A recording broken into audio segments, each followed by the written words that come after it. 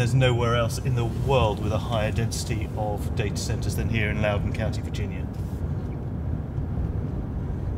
As much as a third of the planet's internet traffic flows through the state of Virginia, the 329 data centers we tracked together consumed almost a quarter of the state's electricity in 2023.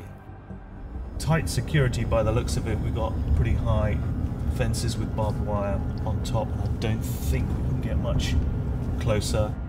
It's rare to get a glimpse inside one of these server warehouses. We contacted dozens asking for a tour. Eventually, a small company called Lunavi in Wyoming said yes. Hey, Courtney. Welcome to Lunavi. Well, come on in. I'll show you a tour. This 35,000 square foot data center is tiny compared to the largest ones in the US. Those can stretch to well over a million square feet. Lunavi offers cloud services to customers like betting apps, mapping companies, insurance, and healthcare businesses.